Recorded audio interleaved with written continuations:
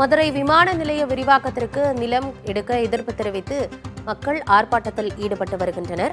மீள்குடி அமர்வு செய்யாமல் நிலம் வீடுகளை வழங்க மாட்டோம் என கிராம மக்கள் திட்டவட்டமாக இருக்கின்றனர். இது சம்பந்தமாக அமைச்சர் மூர்த்தியுடன் பேச்சுவார்த்தை நடைபெற்றிருந்த நிலையில் பேச்சுவார்த்தை தோல்வியடைந்திருக்கிறது. மூன்று சென்ட் மாற்று நிலம் மற்றும் வீடு வழங்க சின்ன உடைப்பு கிராம மக்கள் வலியுறுத்தியுள்ளனர். பேச்சுவார்த்தையின் போதும் இதனை முன்வைத்திருக்கிறார்கள். ஆனால் பேச்சுவார்த்தை தோல்வியடைந்திருக்கிறது. அதன் அடுத்த கட்டமாக கவன ஈர்ப்பு ஆர்ப்பாட்டத்தில் ஈடுபட்டு வருகின்றனர் சின்ன உடைப்பு கிராம மக்கள். அண்மை செய்தியாக பார்த்துக் கொண்டிருக்கிறோம். மதுரை விமான நிலைய விரிவாக்கத்திற்கு நிலம் கையகப்படுத்த எதிர்ப்பு தெரிவித்து சின்ன உடைப்பு கிராம மக்கள் போராட்டத்தில் ஈடுபடுகின்றனர். மூன்று சென்ட் மாற்று நிலம் மற்றும் வீடு வழங்க சின்ன உடைப்பு கிராம மக்கள் வலியுறுத்துகின்றனர். இது தொடர்பாக அமைச்சர் மூர்த்தியுடனும் பேச்சுவார்த்தை நடைபெற்றது. பேச்சுவார்த்தையின் போது சில விஷயங்களையும் கோரிக்கைகளையும் அந்த சின்ன உடைப்பு கிராம மக்கள் முன்வைத்திருக்கின்றனர். பேச்சுவார்த்தை தோல்வியடைந்திருந்த நிலையில் தற்போது கவன ஈர்ப்பு ஆர்ப்பாட்டத்தில் சின்ன உடைப்பு கிராம மக்கள் ஈடுபட்டு வருகின்றனர்.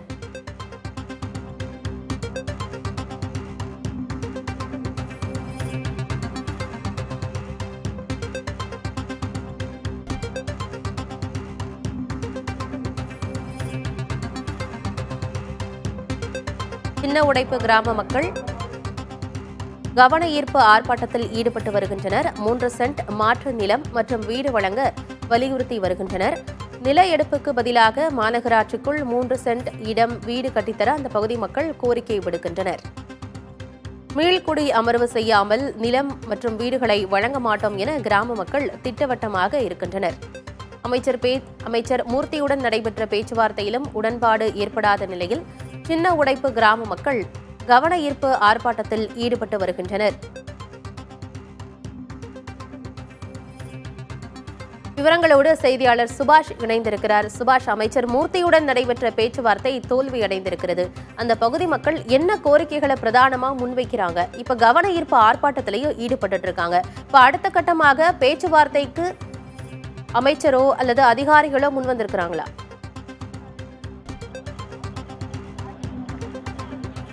ஆனந்தி இந்த மதுரை விமான நிலைய விரிவாக்கத்திற்கு கையகப்படுத்துவதற்காக இந்த சின்ன உடைப்பு கிராம மக்கள் தற்போது எதிர்ப்பு தெரிவித்து போராட்டத்தில் ஈடுபட்டு வருகின்றனர்.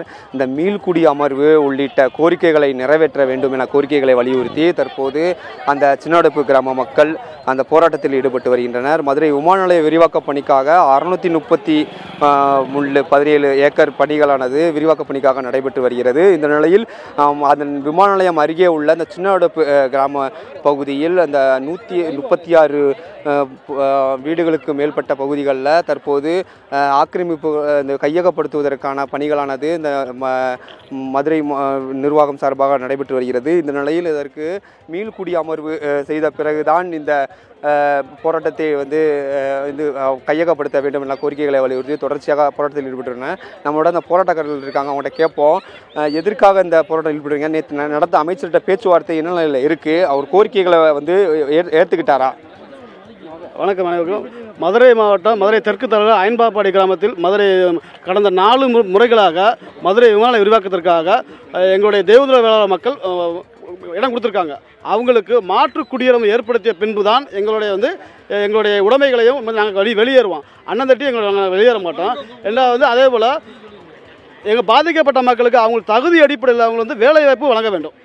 அதன் மனு அதை அந்த அந்த- இந்த கோரிக்கை நிறைவேற்றாமல் நாங்கள் வந்து வெளியேற மாட்டோம். ஆனால் நாங்கள் கடைசி என்ன சொல்கிறோம்டா நாங்கள் அமைதியாக போல ஏறிடலாம். எங்களுடைய கோரிக்கைகளை வந்து வெளி- நிறைவேற்றணும்.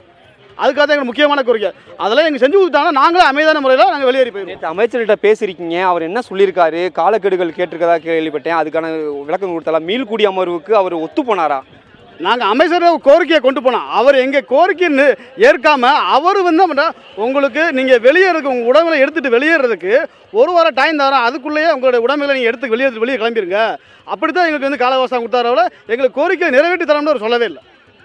தொடர்ச்சியாக இந்த மதுரை விமான நிலையம் அருகே உள்ள இந்த சின்னடப்பு கிராமத்தில் அந்த தற்போது தொண்ணூறு வீடுகளுக்கு நோட்டீஸ் ஆனது வழங்கப்பட்டுள்ளதாக தகவலானது தெரிவிக்கப்பட்டுள்ளது. தொடர்ச்சியாக இந்த பகுதி கிராம மக்கள் தங்களது வேலைகள் உடைமைகளும் வந்து பள்ளிகளுக்கு மாணவர்களை அனுப்பிவிடாமலும் தற்போது இந்த போராட்டத்தில் ஈடுபட்டு வர காணப்படுகிறது.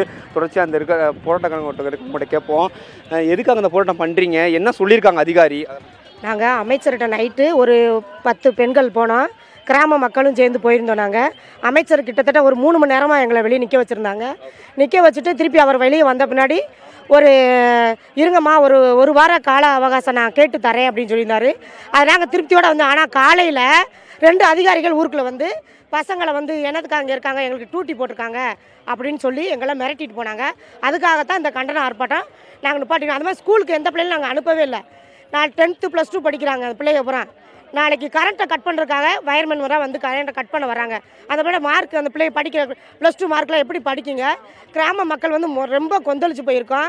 ஆனால் இதுக்கான நடவடிக்கை கண்டிப்பாக இந்த அரசு தமிழ்நாடு அரசு எடுக்கலைன்னா நாங்கள் இதை விட வேற கண்டன ஆர்ப்பாட்டம் கண்டிப்பாக நடத்துவோம். தொடர்ச்சியாக இந்த நம்ம கேட்கலாம். நேற்று நடந்த அமைச்சரிடம் பே- நடத்திய பேச்சுவார்த்தையை தொடர்ந்து இன்று காலை கூட அதிகாரிகள் வந்து ஆய்வு செய்து சென்று- சென்றதாகவும் தொடர்ச்சி அதன் காரணமாகவே தொடர் போராட்டத்தில் ஈடுபட்டு வருவதாகவும் தெரிவித்திருக்கின்றனர். ஆனந்தி. அரசு இதில் தலையிட்டு உரிய தீர்வை காண வேண்டும். தகவல்களை வழங்கியமைக்கு நன்றி சுபாஷ்.